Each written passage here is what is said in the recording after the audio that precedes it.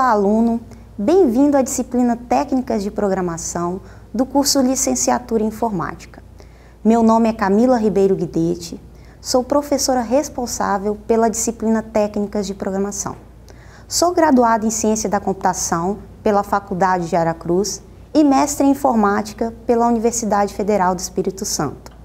Atualmente, trabalho no ensino presencial no campus Venda Nova do Migrante, nos cursos técnicos em administração e agroindústria.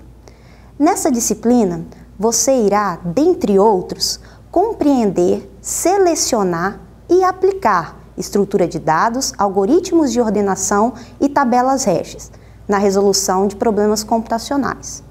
Nas quatro primeiras semanas, vamos estudar os capítulos 1, 2, 3 e 4 do material didático, realizando uma prova na quinta semana. Em seguida, iremos continuar com o capítulo 5 e fechamos com mais uma prova na oitava semana.